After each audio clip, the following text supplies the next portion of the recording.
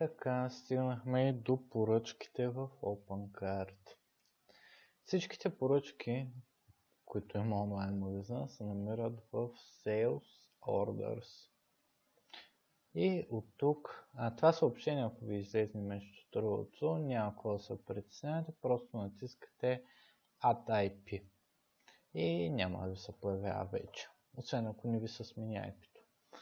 Така, имаме, какво имаме тук? Имаме един филтър, по който може да търсим по ID на поръчката, по статус на поръчката, дата на която е добавен, по клиент може да търсим, по сума, по дата на модифициране. Така, в случай, когато имате повече поръчки. Така сега ще изберем една поръчка и ще натиснем View. И имаме информацията за поръчката. Тук имаме информация за начина на плащане, начина на доставка, датата на която е направена, имаме клиента, клиентската му група, имейла му, телефона му. Ако имаме тук а, наград... точки, наградни тук ще се отбележат, афилиейти, ако имаме също ще се отбележат тук. От тук може да изпринтираме инвойса, фактурата, която издава OpenCard.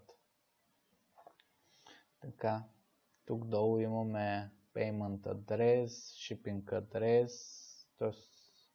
За, разплащане и за доставка адреси. Имаме една таблица, в която се намират всички продукти, които са в поръчката, доставката и така нататък.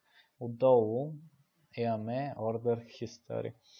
Това са статусите. Например, можем да направим поръчката да е shipped, изпратена. Можем да override.